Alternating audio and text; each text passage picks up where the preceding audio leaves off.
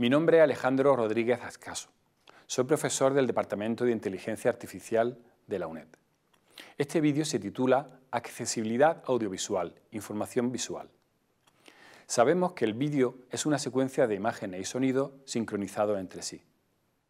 Para percibir su información, la mayoría de quienes utilizan un vídeo usan el sentido de la vista para percibir la imagen y el del oído para percibir el sonido.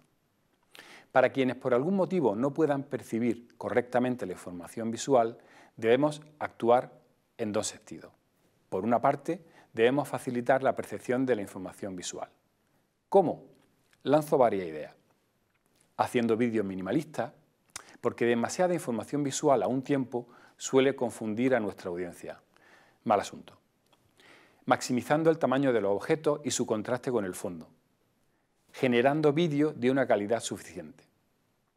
Además de facilitar la percepción de la información visual, deberemos ofrecer un canal alternativo y equivalente a la misma. Lo habitual será utilizar el sonido para ofrecer esa información equivalente.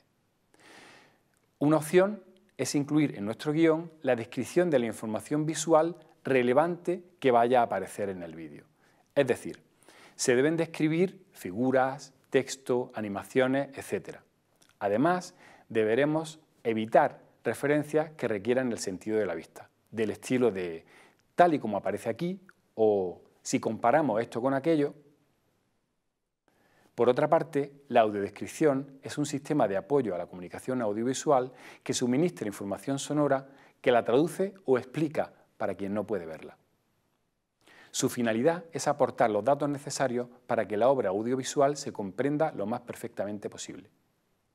Utiliza una voz en off que describe la información visual en los huecos del mensaje, es decir, cuando no hay información sonora original que sea relevante. Producir audiodescripción requiere, por tanto, cierta habilidad para redactar esos mensajes y para incluir los audios correspondientes en el proceso de edición del vídeo. Pero hay ocasiones en las que la extensión de la descripción oral de la información visual resultaría demasiado larga como para incluirla en una locución o para audiodescribirla. Vamos a poner un ejemplo. Si en una asignatura de electrónica un vídeo contiene un circuito como este en su descripción oral, llevaría demasiado tiempo describirlo en el vídeo. Esto provocaría que se hiciera demasiado largo y que al final no fuera útil para nadie. Por ese motivo, una opción es detallar la descripción de imágenes complejas en un documento de texto aparte. Pero volvamos al ejemplo concreto del circuito electrónico. Describirlo en texto es largo y poco útil. Mejor producir una lámina táctil que permitiría una exploración detallada y sin prisas de la información. Para su diseño y producción necesitaremos contar con personas expertas. Estos documentos se pondrán a disposición de los estudiantes, que lo utilizarán junto con el material audiovisual.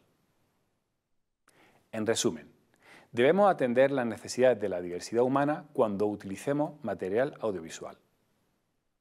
Utilizaremos alternativas sonoras, textuales o táctiles para la información visual originalmente contenida en nuestro vídeo.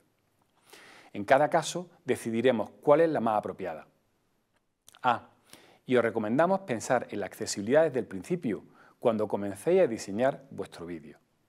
Hasta la próxima. Muchas gracias.